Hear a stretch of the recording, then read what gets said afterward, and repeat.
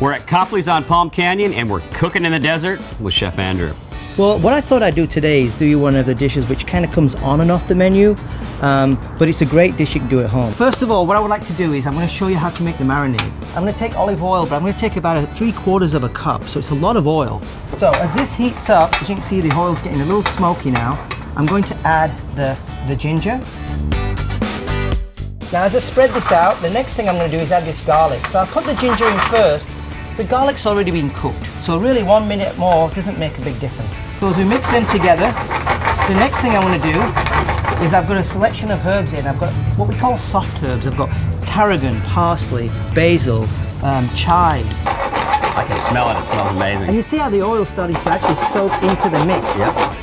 Then I'm going to get you to give me a hand here. I'd love to. All right, now on this side you've got some fresh clove honey, grain mustard, not Dijon, it's a grain mustard. Can you it. mix them together for me, please? Sure.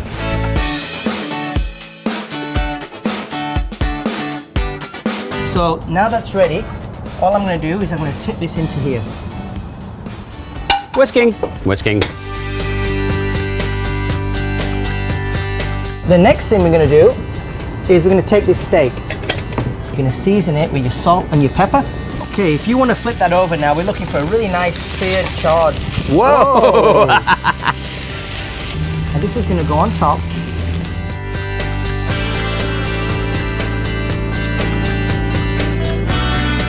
Okay, so now it's time to try the masterpiece. Absolutely. Nice and medium rare, charred on the, on the outside. Mm. That is so good. Yep, I love that dish. This sauce is fantastic. Yeah, it's such a simple marinade. Your restaurant here has an amazing charm because it wasn't always a restaurant. This Talk is- about the history of this property. This has had nine lives. I'm serious. It used to belong to Cary Grant. It was a property he had. Um, it was a four-bedroom property which he used to use as more of a social gathering house. And I just loved the property, the land, and I was able to kind of convert it into this what we have today.